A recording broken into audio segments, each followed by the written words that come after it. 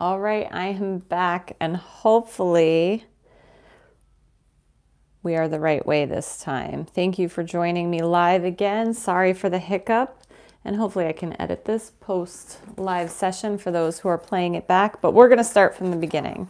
I'm Shana Circe, welcome to this live session and hopefully I'll be seeing a few more folks joining me. Um, I'll wait just a minute or two for those folks who we had to abandon. Thank you. It looks good. Excellent. So in our last session, I was a little sideways. Hopefully I have rectified that. Um, at this point. Thank you, Rhonda. Much better. Welcome. Okay, so to start from the beginning again for those, because this will be the live session I save for people to watch back later, but we are going to be making a collection today. So our collection um, is going to, and when you want to make a holiday card collection, all you have to do is select a simple color palette as well as simple shapes, and then put, some, put them together in different compositions as well as designs. So we are going to be talking about how to create a very simple color palette with simple shapes and then arranging them and even, you know, using some and not others in different ones to create different looks and feels, but they all thematically go together. All of these cards feel like they work together, even though they have different compositions. Um, we are going to be working on this one here. So we're going to kind of recreate this one, but you can see here that we have sentiments that are on the bottom, sentiments that are on the top, some that go right down the middle. These are all the same, the Merry and Bright that I've stamped on here with uh, watercolor, I'm sorry, waterproof archival ink. Um, and then uh, have arranged them in different ways. So you can choose different sentiments. I will put all of the links to these things, to these materials in the description of this once the live has finished. Uh, so if you are looking to get some stamping supplies or materials, you can do that as well. But I've already pre-stamped these. It's great when you can pre-stamp if they are archival and waterproof ink. Uh, makes life a lot easier. Okay. And then I'm also just going to get my chat back up here just so I can see y'all in the chat as well. But thanks for rejoining me, everybody. All right, so let's talk first about um, selecting your shapes and your color palette, and then we'll talk about composition. So let's bring this guy back in here. So this looks like a very dark color palette compared to kind of what ends up on here. But I'll just go over the colors. This is sap green, phthalo blue, cadmium red, and this is um, Van Dyke brown. Okay, and then I've added alizarin crimson down here. You could swap out alizarin crimson. Hi, Sonia. Hi. Hi, how are you? Hi, Rhonda. Um, you could swap out cadmium red for alizarin crimson or use them in combination with each other, but you could get away with just one or the other, right? I've done most of my berries in cadmium red, um, but I do sometimes like to pick up a little alizarin crimson and drop that in there as well, just to give it a different tone. Okay, so you can see here, the phthalo blue, I don't actually use it in the piece by itself, but I use phthalo blue in combination with my sap green to create this much darker, richer um, pine color blue and also to gray out or make my sap green a little cooler. It's not as warm and it kind of gives it this um, beautiful kind of gray uh, tone to it, a grayish green, which I just love. I'm sure you could get this out of a tube, a particular color somewhere for sure, but these are the colors I have in my palette and I know I can make this color with them. So I just use what I have. And then our cadmium red we'll be using for our berries as I go along. And then the Van Dyke brown I'll be using for uh, twigs and joining pieces, as well as this little kind of cotton ball um, puff that I like to use in as a filler that is very soft and delicate and it's a very neutral color that really brings some kind of elegance to some of these pieces. So those are the only shapes that I'm using in addition to, which I didn't put on here just because I couldn't fit, I'll be using a holly shape leaf in some of them, not in all of them. In the one we're doing, I will be using the holly shaped leaf, but in others, you can see I've chosen to leave it out and I just do regular broad shaped leaves, some pine and berries. So, and then, then in this one, I just do pine and berries. So it's just using different combinations um, to keep them all in the same family, but to get them to look a little different. All right, so I'm squeezing this live session in between World Cup games. I don't know if anybody out there watching this is a soccer fan, uh, but we are um, huge soccer fans in this house. Football, soccer, um, it's an international major international tournament, and we are having a blast watching soccer, football all day long. Um, and I know I get some traffic from some of the different countries that see these videos as I see them. And uh, I, Belgium is coming up later today. I get a lot of uh, audience traffic from Belgium. So, hello, Belgium. Good luck later today uh, against Canada, my neighbor. Um, and we just watched Japan and Germany. Ah, and of course, USA, go USA. Um, so let's get back to the painting piece of this.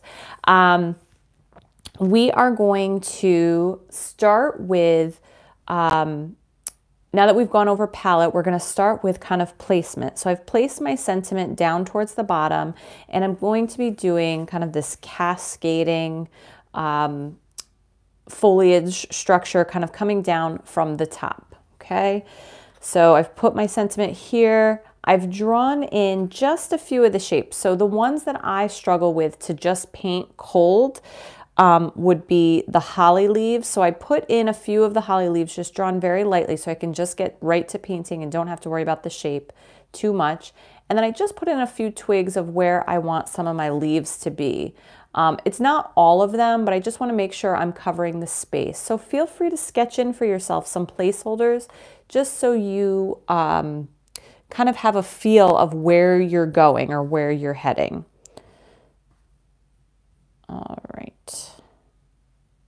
Oh, I'm just changing the live session here again because I'm on an old one and I want to see the latest and greatest one just in case you guys are all chatting in there.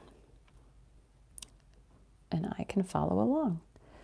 If I've missed any comments thus far, I'm so sorry. Oh, hi. Okay, excellent. Hi, Sonia. If you're still here, you're new, and I know Rhonda's joined me before. And Chuck Didi. I don't know if that is how you say your actual name, but you've joined me before too. Thank you for coming. Okay, so let's get started. The first thing I do, even though I have some things drawn on here, is I start with my lightest but biggest. And this is a little different, but I'm gonna start with these really light poof balls, okay, in the background. And I make these just using, and let's show you here my palette. It's I already have some of it here. You can see it's super watered down. It's a really light color, but I'm gonna pick up some of my Van Dyke Brown, which is a reddish, kind of neutral. It's a really nice brown. And I'm just going to water it way, way down. And then what I do is I, every so often, I'll just add a tiny bit of either alizarin, crimson or cadmium red to it just to warm it up even a little bit more. All right, so now I have this super light color, okay, like super, super light. And I am gonna start by just placing probably at least three of them. I'm not gonna worry about my pencil lines and I'm going to put some of that color down. What brand of watercolors do I use? Um, these are QoR, this particular palette that I have here, Q-O-R by Golden. And, um, but I use all different kinds. I use Winsor and Newton a lot um, when I teach the Cotman line. Uh, and I love Daniel Smith, especially if you're trying to use granulation. What kind of um, paints do y'all have out there? What do you guys use? Tell me in the comments. Um, anybody recommend I try anything on my holiday list, my Christmas list this year? Of course, I always love to try new things. So these puff balls, they look they look a little funny right now, but I promise they will fill out this piece nicely, but they're not overwhelming. They're very light and airy.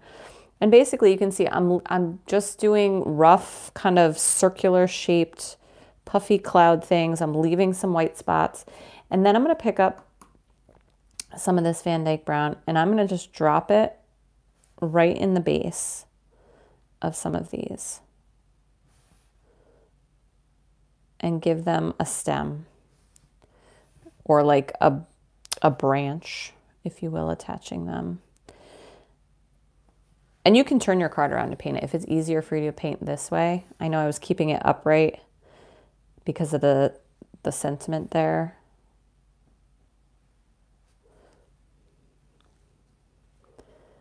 All right, so I'm just lightly dropping some of this in and I'm letting it kind of bleed in.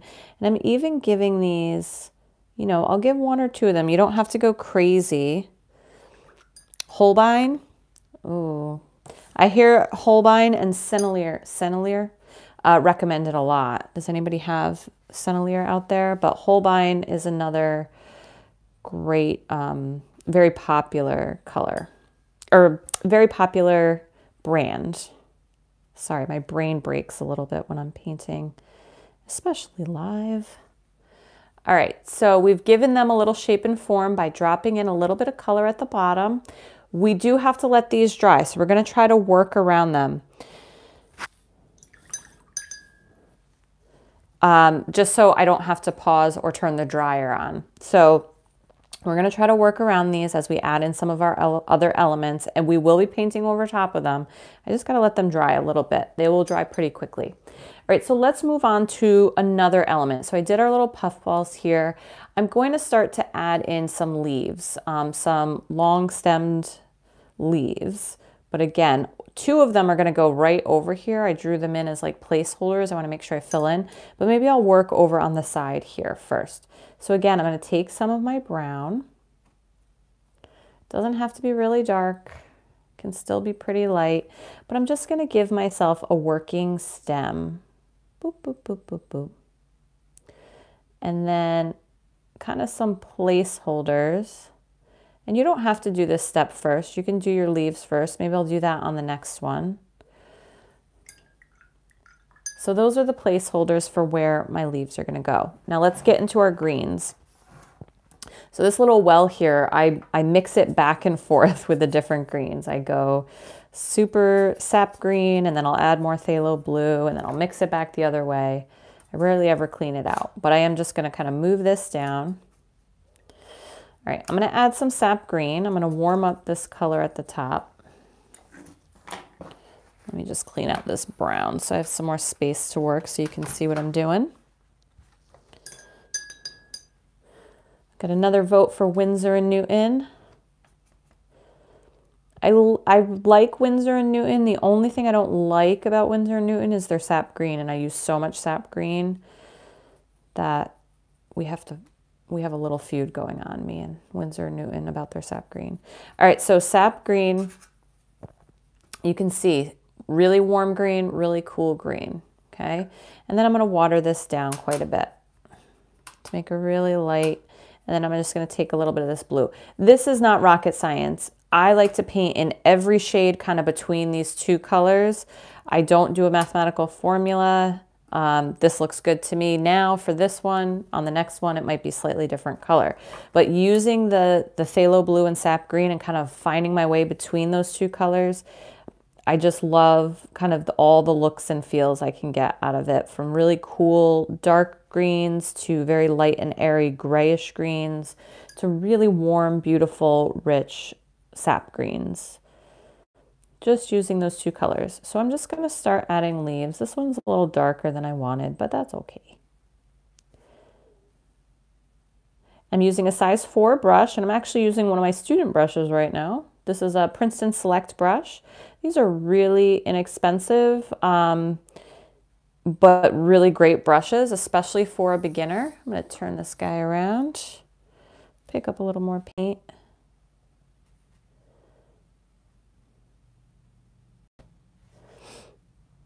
And then being on the edge, you can go right up to the edge or even go off the edge, depending on what look and feel you're doing. If you want a taped edge because you want a clean, like hard border on the side, you can always tape them as well. But I'm going to put this on a card on top of a, a bordered card later on. So I'm going to go right to the edge. Oh, we have some Mission Gold folks and Daniel Smith. Mission Gold, I guess, is good if you live in a humid state, Rhonda says, or a humid location because of the honey. It's made, the, one of the binders is honey and they're very pigmented, which I love super pigmented uh, paints. QoR are very pigmented, high pigmentation. They can get really bright if you like to paint in reds and like really bright reds. I just did a cardinal painting and people were like, how is that so red? Well, it's this paint right here. Um, Okay, so let's add in another set of leaves. These are pretty dry now, so I think we're dry enough. I can paint over this. So you're gonna see I have these twigs here already outlined for myself. I'm gonna paint right over this.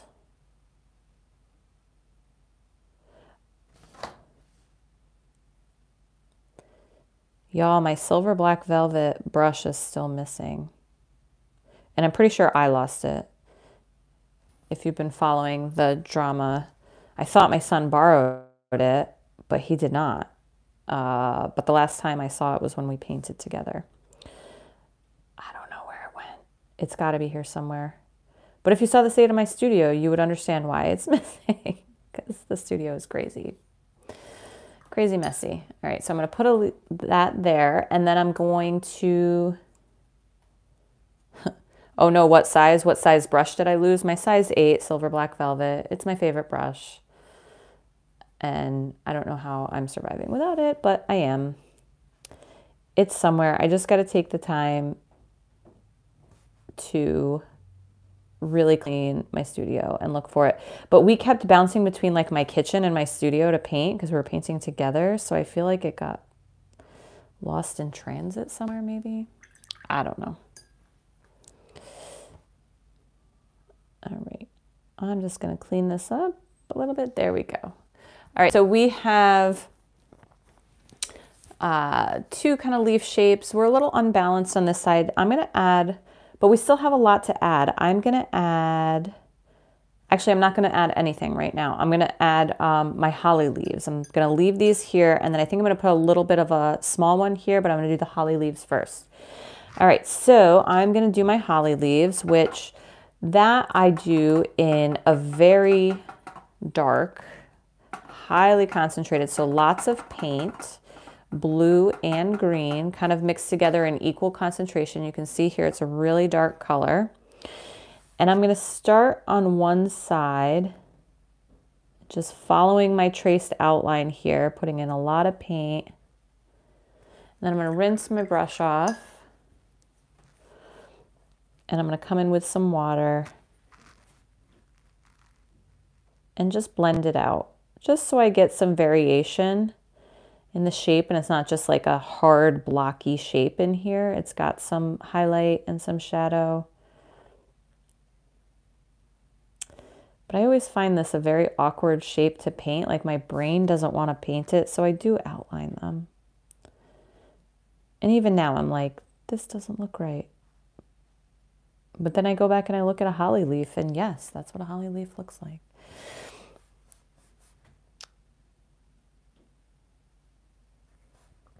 I do want them a little pointier, a little more jagged on the end, but you know what? You can only save it so far.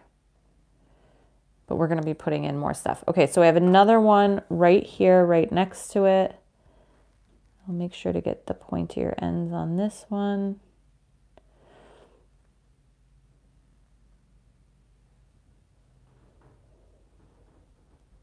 And somehow I've managed to screw this one up, even though I drew it out. My lines were too light. That's okay. I'm going to keep going. All right, so again, putting in some really rich color in one section. Rinse my brush off.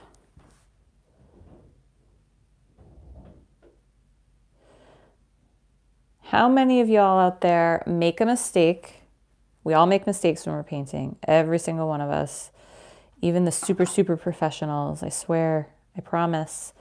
Um, but how many of you make a mistake and you just stop? Don't do that. Keep going. Keep going.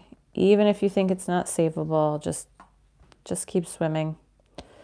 99% of the time, I promise you, I've made so many mistakes, and 99% of the time, they're savable or not even noticeable once you've finished it. All right. One more of these.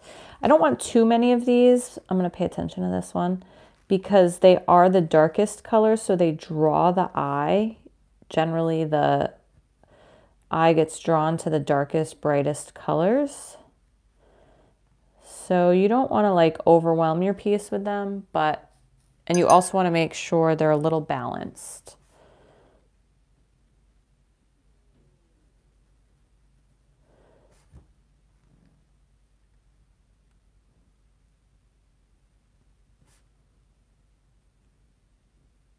There we go. So for those of you just joining, thank you for joining me for this live session. If you're watching back later on, um, if you've just joined, we're working on creating holiday collection, card collections using simple shapes and a simple color palette. So we're only using really four colors because either of these reds can be used. So four colors and a couple of different shapes and different combinations to create all different kinds of compositions and shapes, but they all kind of look and feel like they go together. So making a collection. All right, so we have three of our kind of four main shapes.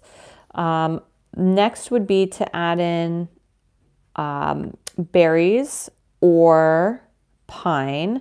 I'm going to add in my berries first, which I normally save them till last, but I'm going to fill in some big spaces.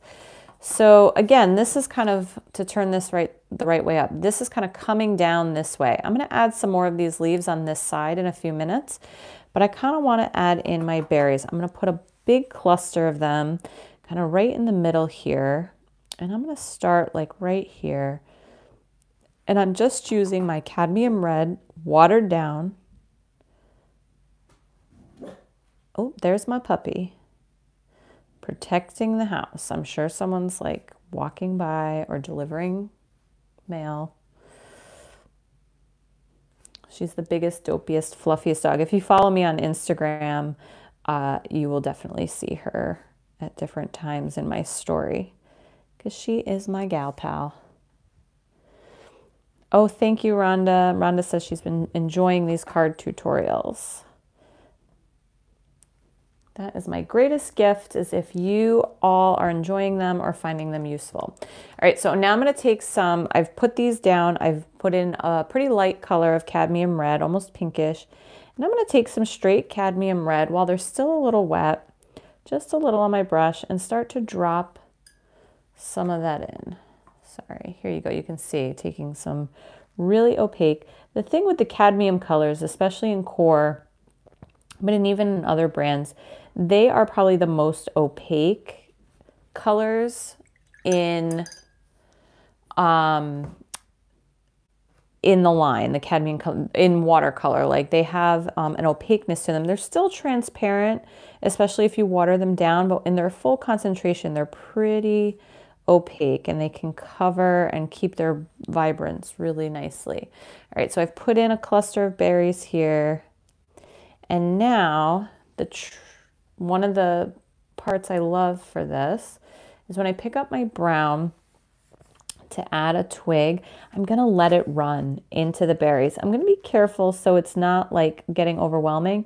I'm gonna put these little notches. Can you guys see that? It's probably like super tiny, but put these little notches in the tops and I want them to bleed a little bit into the berries. And then also creating my connector stems. Wow, these berries dried really fast. And then at the end of the day, I want my cluster of berries to have different value. So I want some pinker ones. I want some redder ones. I want, um, you know, a variety of different values and colors, or it looks like different colors, even though it was all made with the same color paint. You're not a fan of gnomes. That's okay. That's okay. The, gnomes are super popular um, with a lot of folks, but then some people are creeped out by gnomes as well. So I do have a couple of gnome tutorials up there and people really, really seem to love them. All right, I'm gonna add in one more cluster, or probably two more clusters of berries. I'm gonna do a small one over here in the bottom corner. Boom, boom, boom. Get those in there. And then I'm gonna do another here. And watch, I'm just gonna overlap right over top of my leaves. I'm not gonna worry about it. You can definitely see the leaves through them. It's fine on the first layer. I'm gonna go through, because this is that cadmium red color, I'm gonna add another layer. Um, I want these to be a little pinker. I'm gonna add another layer and it, that op the opaqueness of it or the opacity, which is a not as opaque or not as transparent as some watercolors, is going to cover that up. All right, let's pick up some more of that brown while these are still wet. Go back over here. I'm gonna drop some little dots on the top. I'm gonna connect these guys. I think I had another question in the comments. Hold on one second while I do these little guys. Uh, any suggestions on an affordable 100% cotton watercolor paper? Uh, yes, I do have some suggestions. I mean, cotton is always going to be more expensive. You're never going to find a cotton paper that is comparable price wise to some of the um, the cellulose papers or the wood pulp papers. Okay, so you just have to be resigned to that. Um, what I would say is some of the papers that I really enjoy that are cheaper than Arches or Arches. Um, some of the, they're cheap. So Arches, Arches as it's known in the US, um, is kind of the premium. That's generally the most expensive paper. That is actually what I'm painting on right now. So this is 100% cotton Arches watercolor paper. However, this is 90 pound cold press. Now you're never gonna see me paint on 90 pound paper unless I'm doing cards. This actually adheres. It's it we're very low water use. It's half the price of what you would normally paint on the 140 pound cold press. So I got a sheet that I was able to make 32 cards out of for $7. Um, but it adheres to the card so much better. It is like buttery soft. It is a beautiful paper, this 90 pound.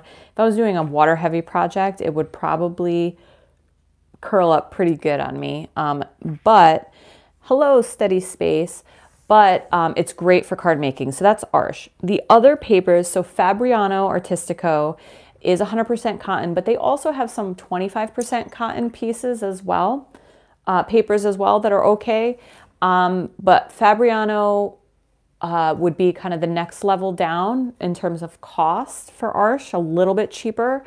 Um, I also love Bee paper. It's really hard to find their watercolor paper now, but they are pretty good, especially for practice. They come in six by nine sheets, a 50 pack, and it's like really affordable. I also like, um, which I've discovered recently, is the Baohong Academy paper. Absolutely love that paper. Um, so those would be kind of my recommendations to look at those find them online. I have some of them linked in a lot of my videos in my supplies. So if you go to my supplies page, it's a bunch of Amazon links, but it shows you all of the different recommendations I have for different levels of supplies. So Fabriano is definitely in there, um, Arches, and then I think I, I did put Canson XL for beginners, definitely not 100% cotton paper, but it's a good entry paper. Hi, Pauline, welcome. Welcome from the UK. Nice to see you. Oh, just got back from the UK. Well, not just got back. This summer I was there. Um, went to London, Manchester, Lake District. Loved it. I'm not sure where North Yorkshire is uh, geographically to wherever I was. Um, so, yes, those are my recommendations for paper. Um, but absolutely, if you can get your hands on 100% cotton, and if you're doing cards, go ahead and try Arches 90 pound cold press. Um, I think you'll be like really pleasantly surprised. Okay, So we've put in berries, we've put in holly, we've put in some of these leaves. I'm to put in a few more leaves and then we're going to finish up with pine. Okay. Um, I'm going to do, so I'm going to come back to my green, but this lighter green up top here. I am going to put in a couple right down here in the bottom. It's feeling a little blank.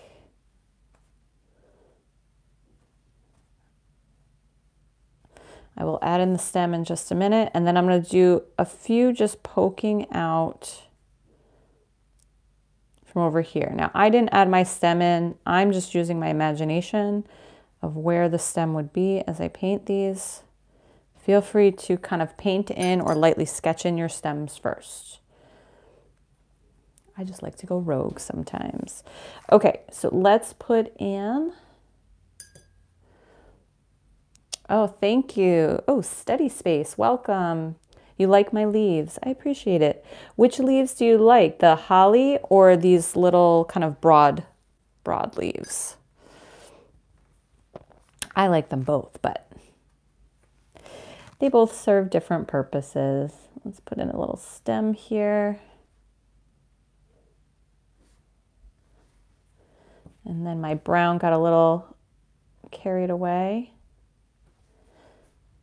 There we go. All right, this is feeling nice and full. I'm gonna add in some pine. I could definitely leave it just as is. I don't know how y'all feel about that, but you can stop at any time when you feel things are full. Um, all right, so picking up more phthalo blue, picking up more sap green to really make a well-concentrated dark color. And then we're gonna put in some pine. Um, sometimes I put in, well, I guess I'll do that. We'll put in a brown kind of stem. I'm going to put in a stem right here for pine with a little twig off of it. And I'm going to put one kind of coming this way over this part. So there'll be two there and then it's not going to really be seen right there. All right, I'm going to put it like right here, a kind of a long one. All right, so pine, there's a million ways to do pine. I'm gonna do kind of a short, a short needle pine, but just, I did a stem down the center and I'm just gonna take the tip of my brush. All my strokes are going um, in a very upward trajectory. They're a little thicker towards the base of the pine or towards the stem and they kind of go out with a wisping motion. So a flick, flick, flick, flick. Let's see if I can bring that even closer. Sorry, I can't really zoom in when I'm live. Flick, flick, flick. So I will zoom closer to you. This is the manual zoom in. Hopefully it's in focus. Those broad leaves. Oh yeah, the broad leaves are, those are fun. It took me a long time to really be comfortable with my leaves. I hated my leaves when I first started. I had to practice them so much. And that for my beginners out there, practicing and just painting like a whole page of leaves over and over again is one of the best ways to get better. Um, with your morning coffee, while you're watching TV, while you know you need something kind of mindless to do. Uh, it's learn it's training your body in muscle memory just like you would for like any sport that you played or an instrument.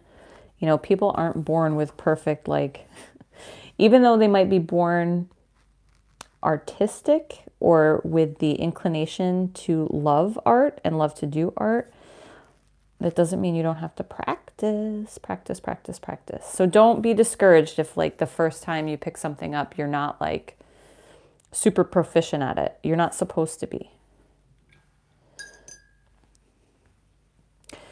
All right, I'm gonna throw one more short one in right here just to kind of even things out a bit. And then I think we are going to be done with this piece. So then we'll just talk a little bit about the other pieces. If there are any questions, please let me know. This is another simple holiday card idea. So all very simple shapes.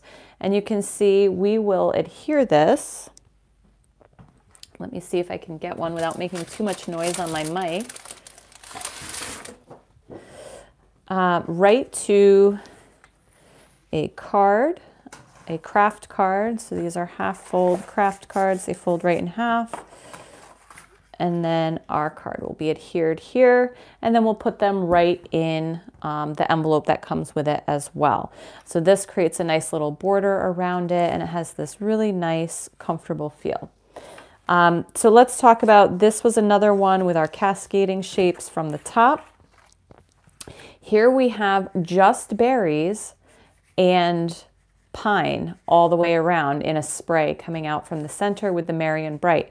The other thing you could do with this is just move the berries out and the pine out a little bit so you have almost a halo around the words and everything just comes out from the center but not covering the words at all. Um, here's another one, wishing you the happiest of holidays. And I've really concentrated all of my pieces kind of along the two sides on a diagonal. Uh, here's another one with that same, like the same process that we did for the top, the top one, but I just did it on the bottom and moved the sentiment to the top. Um, and then I will show you just a few other samples I have here using the same, same shapes but different. Let me see if I have another one. Kind of different colors. So this one is another spray, but in much lighter colors. This one, again, different sentiment, but and longer pine. So very easy to change things up pretty simply. This one is a whole different color scheme and I do have different elements in here. So we have some um, eucalyptus as well as open leaves in there. And last but not least, I'll show you a really different one that, um, again, using the same shapes, but a totally different color palette. So this is all uh, blue. This is all um, indigo blue, but just watered way, way down. So it makes this beautiful slate gray color with some or, uh, gold accents. But it is, it's just those broad leaves and tiny little pine. That's all it is. And then little dots for berries that I actually embossed. So there's a lot of different ways you can take really simple shapes and turn them into all kinds of different uh, looks and feels for your cards. In my studio crew, if you're a studio crew member, we go over lots of different shape um, creation um, individually one by one and then learn how to put them together in different compositions using different color palettes to create over a hundred different um, holiday cards. So that's something you can check out too. Again, will be in the description of this video when it's done and also many videos um, that I've already done.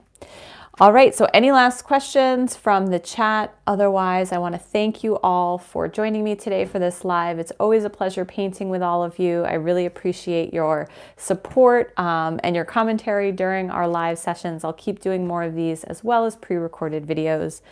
Thank you all again. Have a wonderful day. If you celebrate and you are in the US, have a happy Thanksgiving. Thank you, Rhonda. If you're not and you watch soccer, have a happy World Cup week. Um, we'll be watching football, soccer all week long. Thank you, everybody. Take care and happy painting.